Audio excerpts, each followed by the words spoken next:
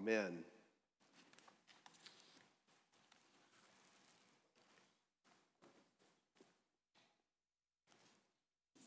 As we enter into a time of hearing God's message this morning, let me invite you to still your hearts and bow your heads, and let's go to the Lord in prayer together.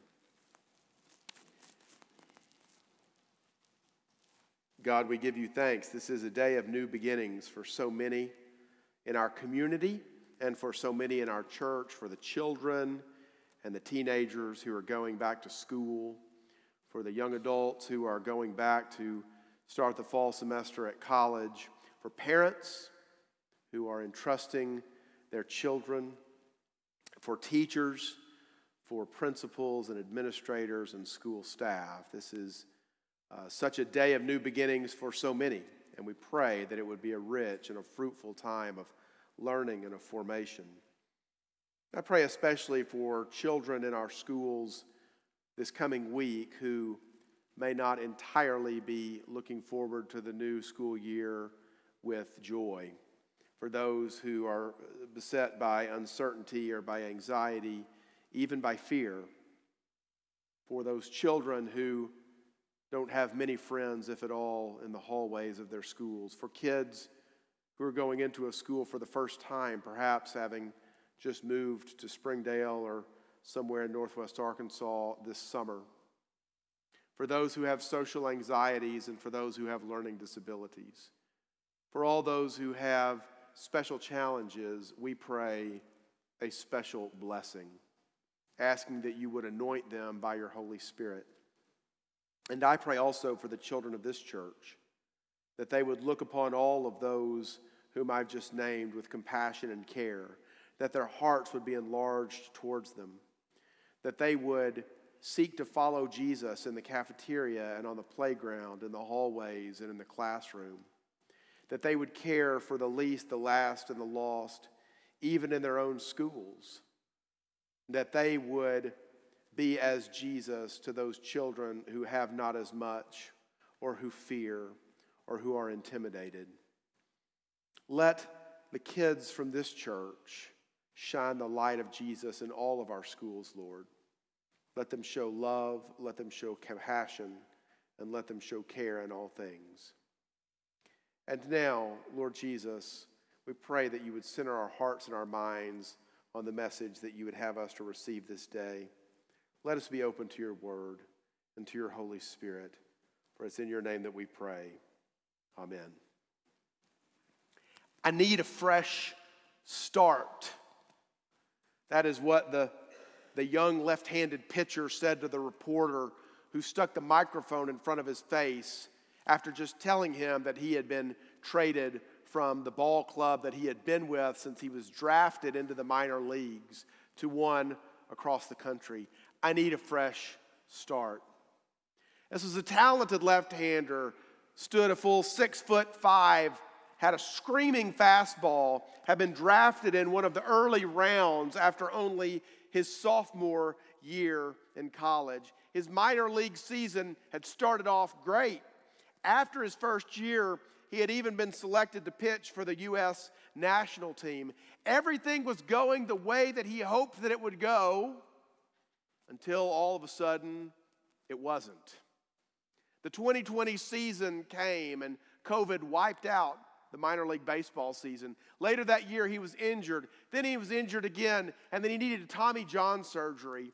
Recovering from that, he was injured yet again and ended up missing the entire 2021 season. And then all of a sudden, standing outside of the baseball facility with that microphone in his face and a reporter waiting for his answer, he should have been demoralized. The ball club that had invested so much in his development all of a sudden was ready to cast him off. But he refused to see it as a defeat he looked resolutely into the eyes of that reporter and he said, I just need a fresh start. We've all been there, haven't we? At some point in our lives, we have reached a season. By its very nature, it's never a season that we seek out ourselves. It's a season, rather, that is thrust upon us, and we feel like we need a fresh start. Maybe it's a job that seemed great until all of a sudden it went south on you. Maybe for some of the kids out there, it's a semester in school where they just didn't make the grades that they thought they were going to make. Perhaps it was a relationship that itself was going really well until all of a sudden it wasn't. That desire for a fresh start, the desire to start over again in a new way. If you've lived long enough, it is an experience that is as universal in human life as any. I wanted to talk about that a little bit today because of the time of year it is. This is, as we said earlier in the service, this is what we call Back to School Sunday. I think of it almost as like a second New Year's Day. There is the actual New Year's Day, and that's a time when we seek a fresh start too, isn't it? It's a time when we look forward to the new year, making New Year's resolutions, saying, This is the year I'm going to form that habit I've always needed to form. This is the year I'm going to overcome this obstacle in my life that I've been trying to overcome for years now. Well, for so many in our community, today is kind of like that. I mean, this is back to school Sunday. You're starting a new year tomorrow. I was talking to a teacher in my own neighborhood just yesterday, and she was saying that. She said, You know, Andrew, it feels like every year this week I get ready and have the opportunity for a fresh start. There are children in elementary school, teenagers in high school, there are young adults in college who are looking for that fresh start. I was scrolling through Facebook yesterday afternoon, and there's a lot of mamas, a lot of mamas in this church who put on Facebook the picture of their son or daughter sitting on a dorm room bed just down the road in Fayetteville, and they all said, I left just a little bit of my heart on the hill this afternoon, right?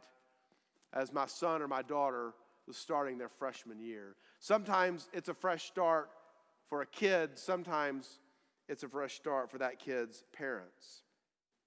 Well, if we're thinking about that at, at this time of the year, and if we're thinking about what it means to have a fresh start in our conventional lives, I think we would do well to think about what that means for our spiritual lives as well. As a matter of fact, this is a great time of the year with so much coming up in the life of our church when we can ask that question about our discipleship. We can ask that question about our faith or about our relationship with Jesus. How can this be a time when we have hopes and dreams not only in our conventional day to day life, but in our faith life? How can this be a time of year when we have a fresh start, not just in our workaday lives, but in what it means for us to follow Jesus? The man in the story from the Gospel of Luke this morning, he's a, mentioned in Matthew, Mark, and Luke described in slightly different ways. In one of the Gospels, he's called a rich young man. In this one, he's called a certain ruler. We usually put those descriptions together and we call him the rich young ruler. In all of the ways that the Gospels describe him, he's somebody who seems like he's got his life together. He's wealthy. He is a ruler, meaning that he is a layman of prominence in his local synagogue. He's a person of stature, a person of reputation. He's a person of influence in the town where he lives. He seems like he's got everything going for him, but we know that in some way he simply doesn't. Because he's seeking Jesus out. He has reached a season in his life when, in some way or another, he needs a fresh start. And so he comes to Jesus for answers. And the question that he asks of Jesus is this Teacher, what must I do to inherit eternal life? Now, the very way that he poses that question is a way that a college student might say to his professor. You go to someone, someone that doesn't know goes to someone who does, someone who's an authority, someone who can give him the right answer. Teacher, what must I do to inherit eternal life? Now, Jesus, for his sake, sizes the man up pretty quickly. As a matter of fact, he has this guy pegged from the very first sentence that comes out of his mouth. Read it again. What must I do to inherit? Do you see anything wrong with that? When you're in line to inherit something, Do you have to do anything for that? You do things in order to achieve things, or you do things in order to earn things. I do my job so that I can earn my salary, right? I do laps at the pool so that I can improve my time in the backstroke. But if I'm going to inherit something, I don't have to do anything. I simply have to have a certain identity, don't I? And the identity that I have to have is as a son or a daughter you see. And so, what Jesus recognizes from the very first is that the man is confused. He thinks that he has to do something in order to inherit, but what you have to have in order to inherit is simply to be in a family where there is an inheritance due. And so, what Jesus tries to do is he tries to draw the man in. He realizes that this is the kind of guy who's got a really strong work ethic. This is the kind of guy who, who really likes to cross the bar, who really likes to achieve things. And so he goes and begins to ask him the types of questions that one would ask if you run into a person of that sort. And what he asks him is this He says, You've read the commandments, haven't you? You shall not commit adultery. You shall not kill. You shall not steal. You shall not bear false witness. Honor your father and your mother. Those are the types of questions that a can do type A personality loves to get asked because he's been checking boxes his entire life. And when he gets asked those questions, you have to imagine that he smiles to himself, a little bit smug, and he thinks, oh, well, this isn't going to be that difficult after all. If this is the only test that I've got to pass, well, then I'm going to tell Jesus I've been doing it, and he's going to tell me I'm already there. And so he says to him, Teacher, all of these things I've been doing since the time of my youth. And Jesus looks at him and he helps him to realize that perhaps the test isn't easy, that easy after all. Because you see, what Jesus has been asking him is the Ten Commandments. But he conspicuously and most likely intentionally skipped over one of them the first one. And the first commandment is the commandment that goes this way I am the Lord your God who brought you out of the, la- the land of slavery, out of the house of Egypt. You shall have no other gods before me. So, Jesus, having run through all of those other commandments and having drawn that rich young ruler in, well, then he circles back around to the first one. And what he does is he asks the young man if he is willing to embrace all that God desires for his life. And the way that he does it is he asks the young man if he's ready to put down his idol. The way that he asks the question is this One thing you still lack. Sell all that you have and give the money to the poor, and you shall have treasure in heaven. Then come and follow me. Now, we don't know the entirety of how the young man reacted to that. Like a lot of stories in the Gospels, we get the teaching from Jesus, we get the punchline from Jesus, and then the gospel very quickly moves on to the next story. What we do know is that the man didn't accept it on its face. It says that he was deeply grieved for he had many possessions.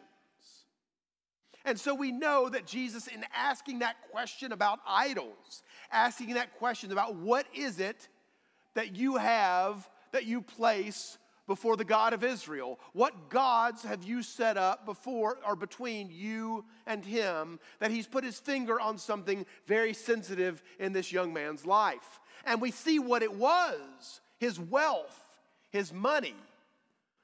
And we're tempted to think, oh my gosh, Jesus hates money, and this is a problem for us. Now, there are places in the world where it would not be a problem. Some of you have been to some of those places. There are places in the world where people aren't that tempted by their wealth because they don't have any wealth. We don't live in one of those places. Our society is, relatively speaking to other places in the world, very wealthy. We are the most affluent Christians who have ever lived.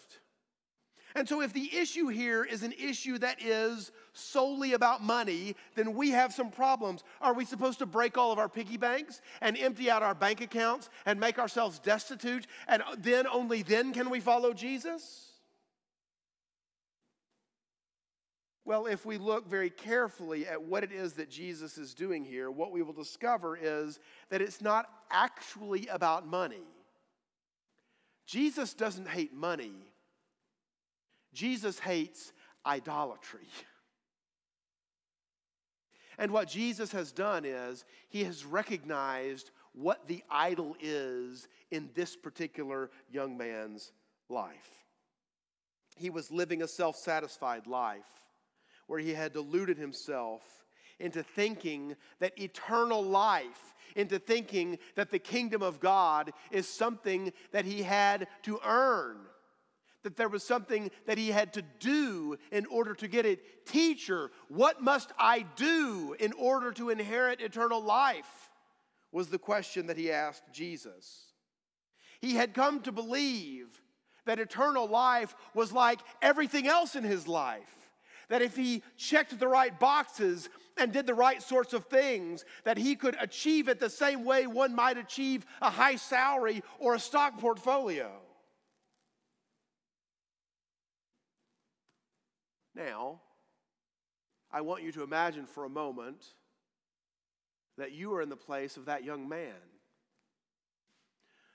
Most of you have done most of the things that you need to do in your life to set things up right. You have a good marriage, you've raised healthy children, you've planned for your retirement. But perhaps in your own life, you have come upon a season. Perhaps some of you are in that season right now where even though you've done everything right, somehow not everything is right. And let's imagine that you want to ask Jesus the question, What more is there? Please, Jesus, tell me that this is not all that there is. Please, Jesus, tell me, for God's sake, tell me that there is something more. Tell me that what I see around me is not the limit of what God wants for my life. And if there is something more, tell me how to get it. And now imagine that you are walking down a dusty roadway one day and you see him coming towards you, and you look up and you realize that it's Jesus and you realize that He's looking at you. And you ask Him the question, and He looks back at you with love in His eyes, and He says, There is still yet one thing that you lack. And now ask yourself the question what is that thing? What is the thing that you still lack? What is the thing that is keeping you from knowing God more in the same way that the wealthy young ruler's bank account was keeping him? What is the idol in your life? They come in many shapes and sizes. The one thing that we know for certain about idols is that they are always homemade. You don't go to Harps to pick up your idol. You can't order it at Walmart. Idols are made in our living rooms, they're made in our kitchens, they're made in our studies and in our bedrooms. Idols are always personal. We fashion them ourselves and then we set them up and we bow down to them and we worship them and they keep us from God.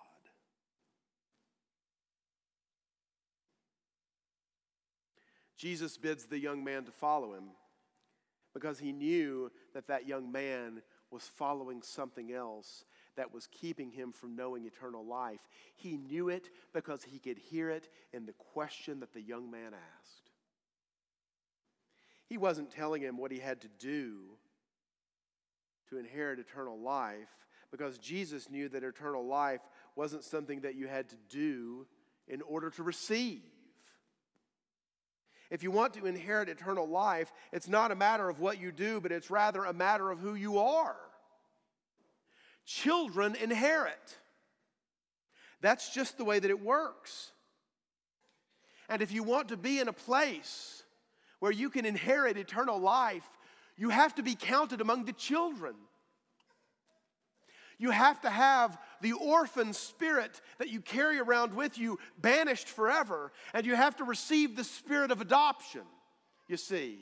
That's what we learn in Romans chapter 8 that there is a spirit of adoption that Jesus has brought into the world, and He wants to give you that spirit of adoption to banish the orphan spirit in your heart forever, the spirit that tells you that you're unlovable, that you're unwanted, that you deserve to be set adrift on the seas of the world and left alone to perish.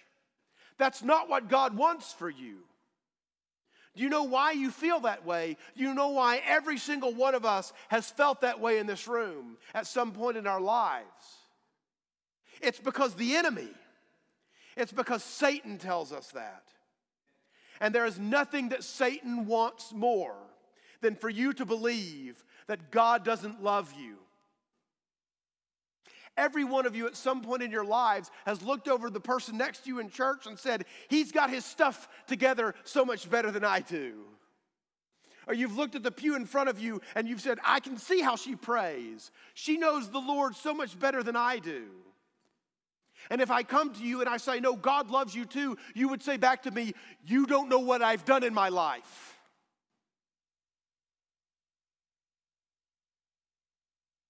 But here's the thing I don't know what you've done in your life, but Jesus does. And he loves you anyway.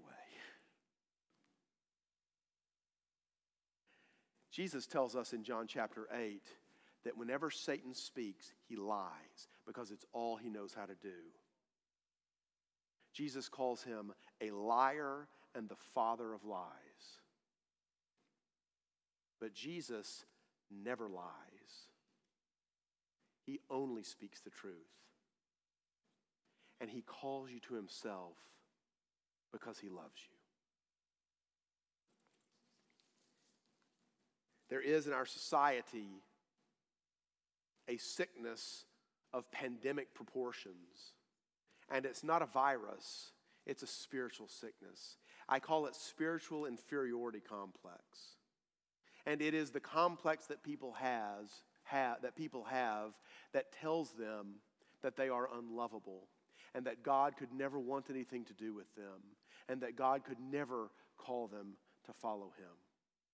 Well, I want to show you something that will demonstrate to you beyond a shadow of a doubt that that is not true.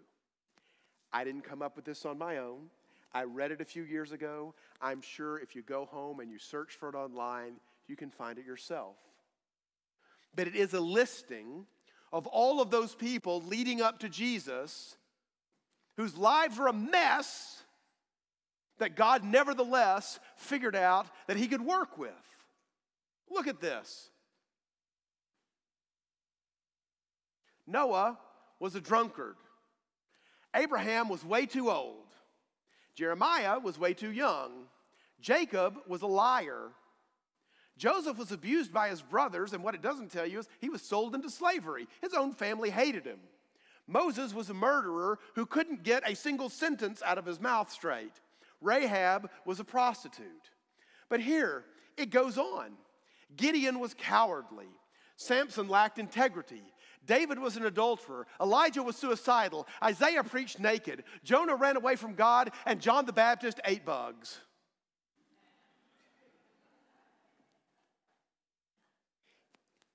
You think you're really bad off? You're not that bad off. If on your lunch menu today is something a little more creative than locusts and wild honey, then you're not that bad off. God does love you, and He does want you, and He does want to call you to follow Him. This is a season of fresh starts.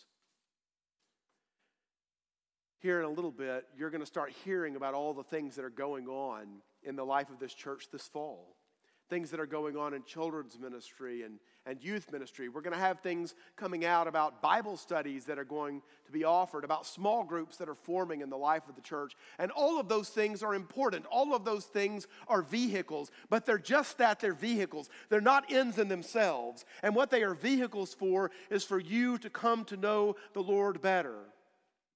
I hope that when you begin to see all of those announcements or when you hear us call for you to consider all of those things, I hope that you really will. But here's what I hope that you will consider even before all of that. I hope that you'll consider that God wants to give you a fresh start. That God wants to call you anew in your life. That Jesus wants to love on you the same way that he was loving on that rich young ruler in Luke's gospel this morning by telling you what you really need to hear, by giving you the opportunity to lay down that idol, whatever it might be, and by growing even closer to Him and closer to Him every day. In John chapter 4, Jesus tells the Samaritan woman at the well, a woman who had a checkered past, to say the least. He tells her, The hour is coming and is now here when true worshipers will worship the Father in spirit and in truth. For the Father is seeking such people to worship Him. He wants to banish your orphan spirit. He wants to call you His son and His daughter. He wants to give you eternal life. So let him. Let him. In the name of the Father, and of the Son, and of the Holy Spirit.